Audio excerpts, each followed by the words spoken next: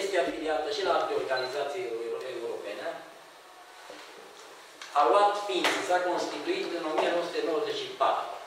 Din vari motive, probleme, la București a avut sediu, cu ocazia unui uh, decesului un mare avocat și a domnului Ordovan, cred că ați auzit, Părintele Constituției,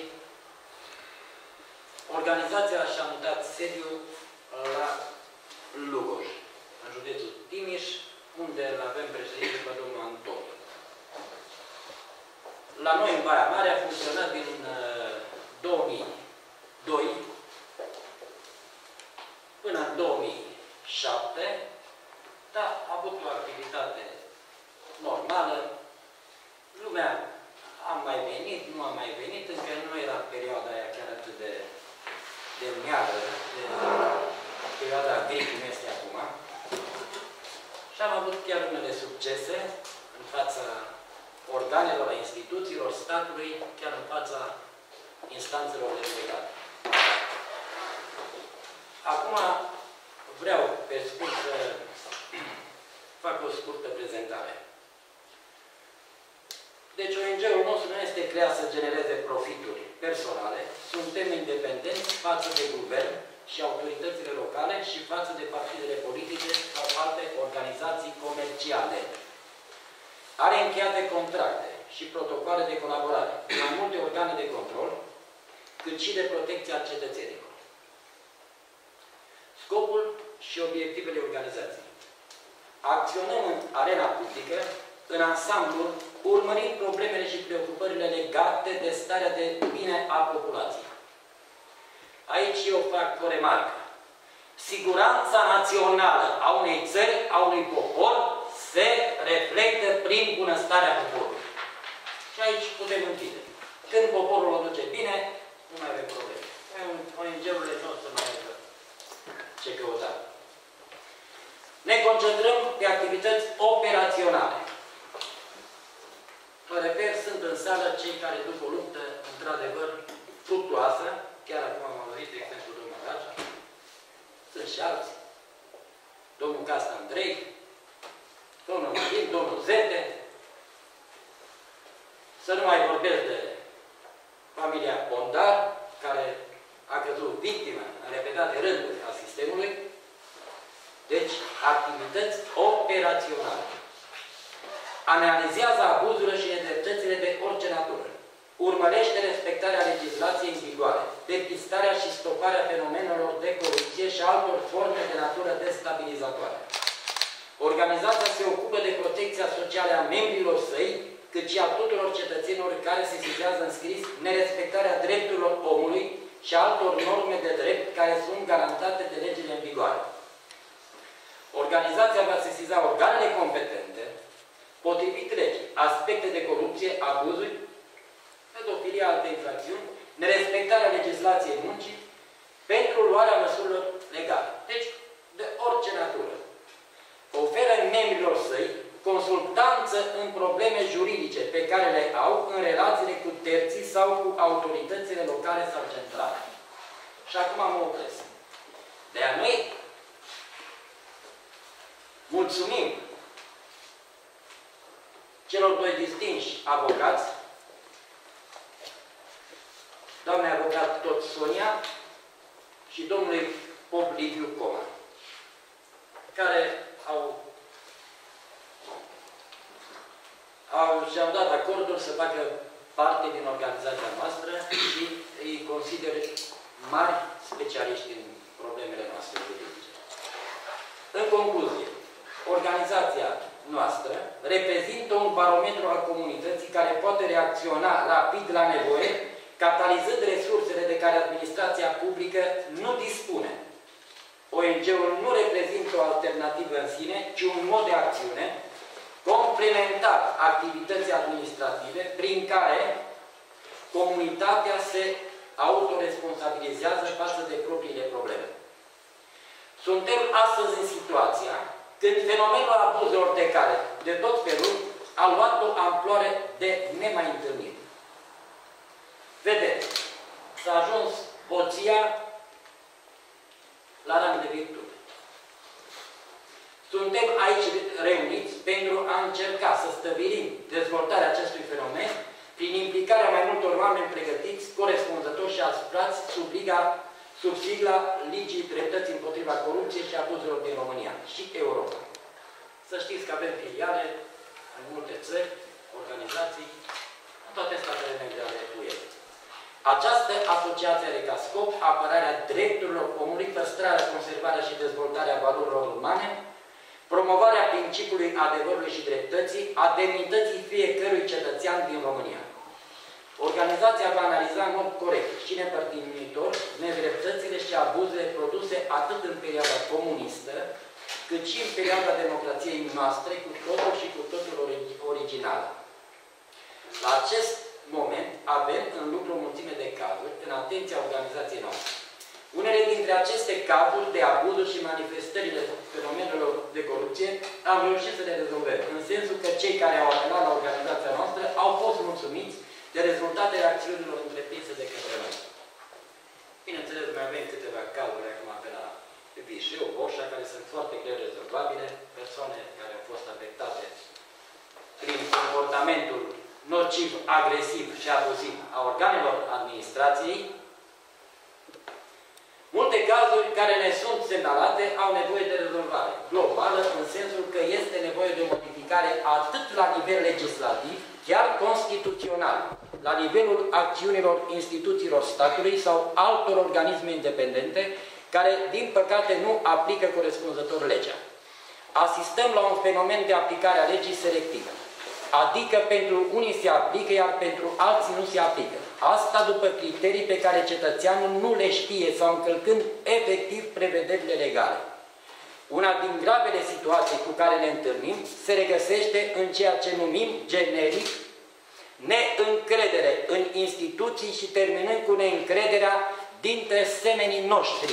La un moment dat nu mai avem încredere nici în cei apropiați ai noștri. În situația de față, societatea noastră trebuie diagnosticată de situația societatea, societatea noastră și luate măsurile cele mai adecvate. Organizația noastră se înscrie în lupta împotriva tuturor abuzurilor și nerespectării drepturilor fundamentale ale omului, în ciuda unor piedici sau a unor neîncrederi ale unora. Nu putem obține rezultate sănătoase fără să acționăm cu fermitate și curaj. Deci, atenție, fermitate și curaj. Fără reținere. Nu există diferență deosebire între noi. În acest sens, organizația noastră va colabora cu toate autoritățile, instituțiile, organizațiile guvernamentale sau neguvernamentale, instituții internaționale, entități publice sau private. În același timp, vom funcționa și acționa independent de autoritățile și instituțiile statului în promovarea și apărarea drepturilor, libertăților sau intereselor oricărui, oricărui cetățean. Deci colaborarea cu instituțiile statului. Mai înainte de Noi trebuie, mai înainte de toate, să ne gândim înainte de a promova o acțiune. Este o bolgă românească. Înainte de a dea cât piatră în câine, să vezi dacă este câine. Deci nu lansat direct, am treabă cu primarul și am dat-o la prefect. Să nu uităm cine este primarul și relațiile dintre ei și relațiile din instituționale. Deci nu vom face la de la orice mijloace legale pentru îndeplinirea dezideratelor noastre și chemăm pe toți cei interesați să participe la acțiunile noastre cu toată încrederea. Vă mulțumim pentru participare și vă îndemnăm la solidaritate, încredere și acțiune. Vreau ca să vă închipuiți că au dat legi ca să fie curate 4 milioane de hectare. Deci începând cu legea 18, 247, legea 1 pe 2000 și în continuare. Pentru ce? Pentru ca să fie atribuite la străini în baza legii 165 pe 2013. Uh, am uh, apelat și la societatea civilă și la presă. Uh, ajutorul a fost de fațadă, o intervenție la televiziune, practic egal cu zero și domnul Pintilie cunoaște situația, egal cu zero, iar instituțiile statului s-au uh, mobilizat în așa fel, într-un mod dramatic, de fapt cum să mobilizează împotriva românilor. Deci ori și cine, numai noi nu avem drept în țara asta, pentru că asta nu mai este țara noastră, pentru că suntem o nație în extinție. Deci pe care de dispariție.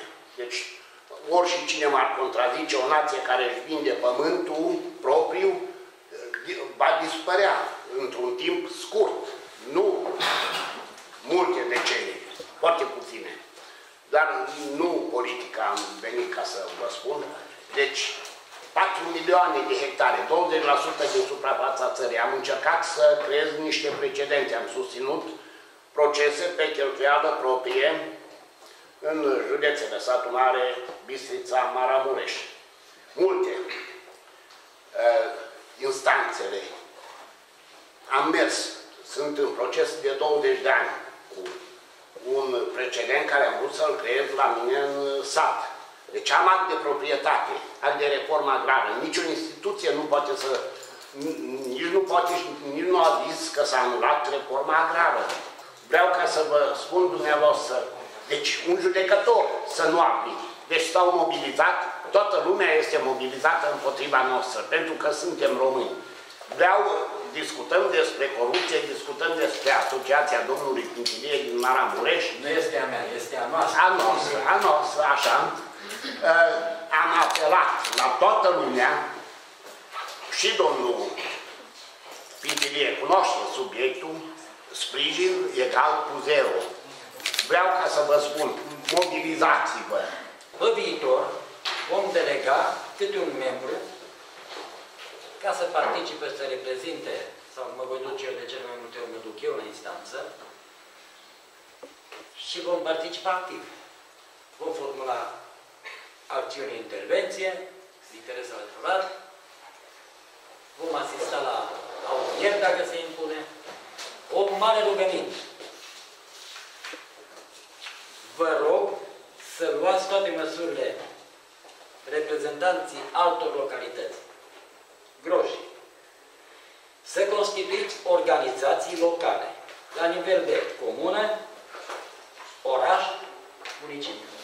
La Tăuți avem, la Tăuți Măgăriuș avem, la Baia Sprie i-am luat noi deocamdată, vă rog frumos să constituiți dumneavoastră organizația și răspundeți. Aveți perfectă dreptate. Statul la ora actuală trăiește doar din taxe, impozite, amenzi. Doar asta este programul lor de guvernare. Și ne administrează tot banii.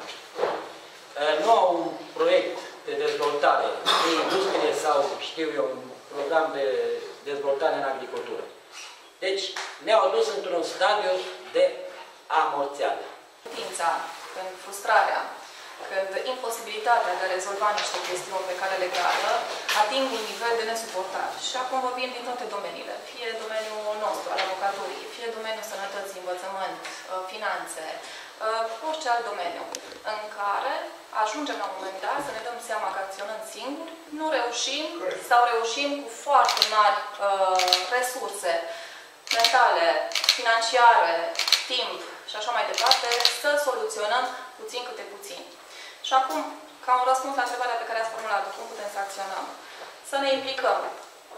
Să luăm atitudine atunci când considerăm că anumite drepturi ne sunt încălcate.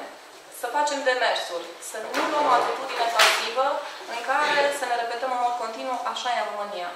Nu așa e în România. Așa e în România pentru că oamenii creează niște cutume.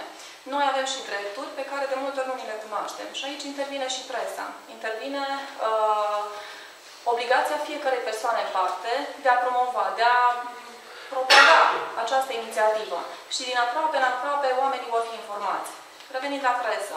Presa va fi uh, oarecum liantul dintre organizație și, și cetățeni. Uh, va fi în sarcina presei să informeze oamenii cu privire la drepturile pe care le au, să îi facă conștient de faptul că au dreptul să acționeze și că trebuie să acționeze.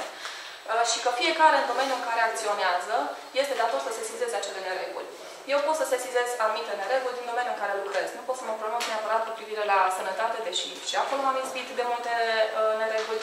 Nu pot să mă pronunț cu privire la învățământ, deși chiar și acolo anul trecut am avut multe, uh, multe probleme, uh, finanțe și așa mai departe. Dar este datoria fiecărui cetățean în parte să ia atitudine și să facă. Chiar dacă legea e cum e și e de multe ori făcută mai mult ca să ne încurce decât să ne ajute, există anumite pârghii pe care dacă le cunoaștem putem să le acționăm și încet, încet să rupem măcar câte o rotiță dintr-un sistem care a devenit total nefuncțional. Uh, am încercat, domnul Pintilie a făcut referire la, la cazul familiei Bondar. Este un caz care se pregonează prin instanță de ani de zile. E un, și nu e un singur dosar, e, o, ca, e un caz întreg cu multe dosare, dar în care încet luând lucrurile pas cu pas, am reușit să facem, uh, să facem pași în sens pozitiv. Și în același fel, cred că fiecare dintre noi, în domeniul în care activează, are această obligație să ia atitudine, să sesizeze uh, lucrurile care nu merg, uh, nu merg așa cum trebuie și nu se respectă prevederea legală și să facă demersuri până vor obține un rezultat, într-un sens sau altul. Și cred că în felul acesta putem contribui fiecare, luând atitudine încet cu pași mărunți. Și acum poate este oarecum prematur să discutăm despre o speță sau alta în parte. Practic e o organizație la început, va trebui ca fiecare speță să fie analizată, discutată și rezolvată uh, în mod particular. Dar pentru aceasta este necesară, în primul rând, o informare a tuturor cetățenilor cu privire la drepturile pe care le au, cu privire la obligațiile pe care le au, evident, și cu privire la modalitățile în care se pot rezolva anumite chestiuni. Este prematur să discutăm despre cazuri concrete, particulare, este prematur de discutat o anumită acțiune. Înțeleg că suntem la momentul în care această organizație se organizează ea.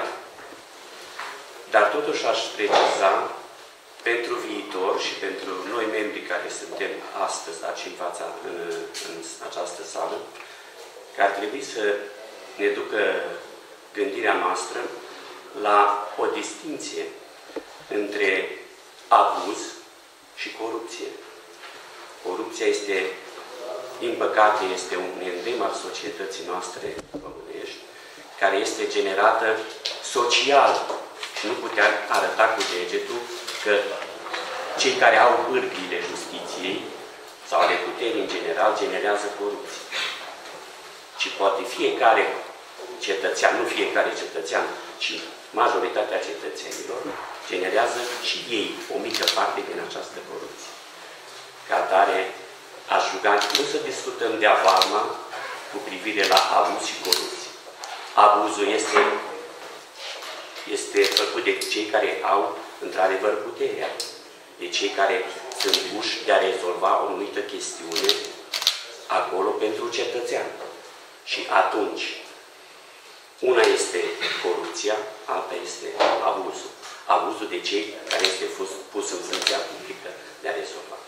Dar, de ce de acasă? Ca atare, astăzi este prematur să discutăm despre cazuri concrete și să ne îndreptăm împotriva cuiva. Pe viitor vor veni sesizări, pe viitor vor veni uh, acele momente în care vom căuta să rezolvăm atât eu și colega și domnul coordonator, problemele cu care se confruntă cetățenii. Ci este mai important din ceea ce v-am spus, ar fi ca să ne apropiem de societatea civilă, să sprijinim, spre exemplu, astăzi, momentul în care Ministrul Justiției se luptă pentru a promova legile justiției și acel proiect de legi pentru justiție, vă spun că cu toată sinceritatea și responsabilitatea, că reprezintă, reprezintă un punct culminant al justiției din România după 27 de ani. Dar, din păcate, astăzi asistăm că o mare parte dintre magistrați nu sunt de acord cu aceste legi. Motivul care este? Motivul este unul simplu. Să nu se introducă răspunderea magistraților. Ca niciodată magistratul să nu poată fi tras la răspundere de către justiția, ci doar în forma actuală, prin inspecția judiciară care de multe ori se termină petiția dumneavoastră înaintată nouă, nu este fondată. Și dumneata, ca și cetățean, rămâi acolo. Nu este fondată, nu ai ce să mai faci. Ei, dar atunci când va începe o luptă și când judecătorul va ști că dacă greșește, justițiabilul să poate îndrepta împotriva dumnealui și nu a statului prin Ministerul Finanțelor, atunci va fi mai mare. Până nu se schimbă aceste legi ca persoana respectivă care a să răspundă personal, nu se va rezolva nici problema corupției. Dacă vrei să ajungi la altitudine, ia altitudine. Ce o să faceți dacă, subliniez dacă, Da? presa, nu contează care, Așa. 2 aici, 3, 10, 20, din Maramureș, din Transilvania, din țară, nici asta nu are importanță. Eu, ca principiu, ca principiu renunț. Se ocupă de un caz, de face dezvăluire. Da. Caz în care este implicat și polițiști corupți, Da, și înțeleg. judecători corupți, și procurori corupți, și ofițeri de informații corupți. Și aveți toate dovezile. Și cei 2, 3, 10, 20 câți vor fi de ei, scot și spun nume. Dumneavoastră ce veți face dacă constatați că, că e, e caracatița prinde absolut toate instituțiile. Am uitat să iau Vom căuta blocarea. județean. Vom- Știți bine că mă refer la... nu e cazul, n-am să pomenesc uh, nici o cauză în momentul ăsta. Știu că aveți... Doar eu am câteva uh, Știu, cauze le din astea. cunosc din ele. Ce veți face atunci? Uh, Eu mă bucur că ați ridicat problema aceasta, vă spun, cu curaj.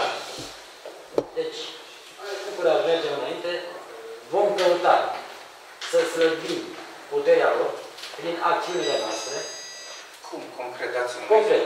Vom acționa și noi în instanță, vom, vom uh, sesiza organele abilitate, stați un pic, că nu este doar uh, parchetul general sau... Mai sunt instituții. Vom promova acțiuni și vom lua atitudine. Restul anumite cauze, noi am avut chiar șef de poliție schimbați din, uh, ca urmare a unor fapte de corupție, Că s-ar putea, s-ar, s-ar putea să, să aveți uh, în următoarea perioadă, Da. să aveți o avalanșă de, Da, de, foarte. Ne bucurăm. de cazuri, să vină lumea să... Ne bucurăm. Pe mine m-au întrebat, doar de ieri până astăzi, m-au întrebat foarte mulți, dar nu 99,9% m-au întreb- m-au- m-au întrebat în privat. N-au curaj, nici să iasă public. Nici Vom face front comun cu presa, pentru faptul că presa pentru noi este un sprijin deosebit și pentru societate. Mă refer la presa locală. Nu mă refer la presa din satul cu miniștri, care este dirijată de triburile cunoscuțe și cei cu șorțuri. Cine înțelege bine, de pe Valea Iordanului. Așa. Aia sunt dirijați, manipulați. Presa noastră încă, încă mai este în picioare. Parția, unii dintre ei mai sunt afectați de... chiar, chiar, chiar credeți. Cred că sunt Că eu nu mai afectați. cred. Cred că Eu sunt vă afectați. spun- v-am spus- O să, Sunt o să unii spun ce am afectați, da. discutat afară, ce am spus eu public, când discutam cu, cu domnii avocați. Și în avocatură, dar mai ales în presă. Și, și în presa. Presa e mai, din anumite puncte de vedere, e mai murdară decât politica. E, da. Da, o spun eu, după 24 de ani de presă. Așa este. Și Își mi-asum păstrează verticalitatea Și atunci... și devin Și victime. de-aia vă întreb. Aici o la să vedeți că în Ciprian funcție... Dragoș, domnul Dragoș Ciprian a devenit victimă, noastră încă, încă, Dar am cam, rămas. cam, cam toți. Nu, nu, că eu n-am nicio problemă. Eu n-am plâns niciodată. Pe mine nu m-a N-ați amenințat plâns, nimeni. Nu, nu, nu, nicio problemă. Uh, Am vrut să vă spun altceva. O să vedeți că în funcție de cazurile pe care o să le aveți, dacă să implicați uh, uh, oameni de o anumită culoare politică și- și sau din anumite structuri, atunci o anumită parte a presei se dă deoparte. Dacă o să aveți cazuri din altă parte, se dă altă bucățică de... Așa o să se întâmple. Și atunci o să vedeți că, că, cum, cum se, se, se vor îngusta rândurile și în presă. Și vor rămâne doar 4, 5, 6, nu spun câți, pentru care Am nu văzut contează. prezența presei și la instanțele la care a fost uh, convocat. Nu citat primarul. Așa. Știm cine a participat, cine are curajul să participe. Să... Așa? Deci nu am niciun fel de acuzare. Vedeți, ar fi un caz, un caz școală, ce se întâmplă în Am înțeles. cazul Cherecheș. Cazul cu totul. Proces, reacții publice și așa mai departe. Dar am zis că nu discutăm pe, pe niciun caz concret și așa e corect, nu acum. Noi o să facem uh, în viitor, o să, următoarele 30-60 de zile o să ne adunăm. Până atunci vă rog să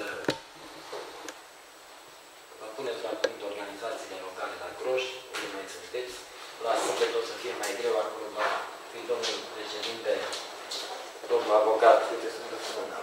Culegem date și informații. Altfel nu ne putem apăra. Nu putem lupta. Dacă nu deții informații, care este cea mai bună ă, formă de apărare? Contractare. Și atunci culegem date, informații, să le avem și să le stăpânim. La Vișeu, din păcate, este o, un butoi cu pulg starea infracțională o știe toată lumea, ai noștri săraci, nu știu. Domne, ce cu cauza aia? Ei, deci noi trebuie să stăpânim. De-aia toată, toată uh, zona de peste dar o prea domnul avocat și noi trebuie să fim pregătiți și informațional. Altfel nu putem merge înainte. Și la instanță. Dacă nu ai probe, vor. Poți să ai și probele, că nu le văd. Atenție, probele se exploatează nu numai la instanța de fond. Nu numai pe cine. De-aia vă spun, cât mai multe date și informații. Cât mai multe date și informații. Deportat, ne-au deportat. Noi suntem minus 6 milioane, nu se recunoaște, zicem că 5.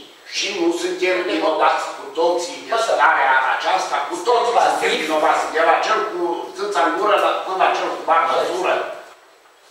Nimeni să nu dea o mână de sprijin la această nație care să bate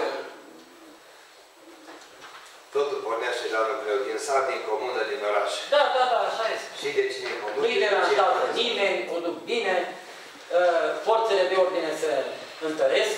Atenție, tot se spune că nu există efectiv în poliție. Este brațul nou.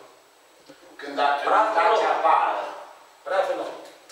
Atâta, uitați-vă, poliția locală, câte mașini are, care este activitatea poliției locale, Și ce salarii? ce salarii au, așa, Sau a celorlalte... Dom'le, eu nu am nimic împotrivă.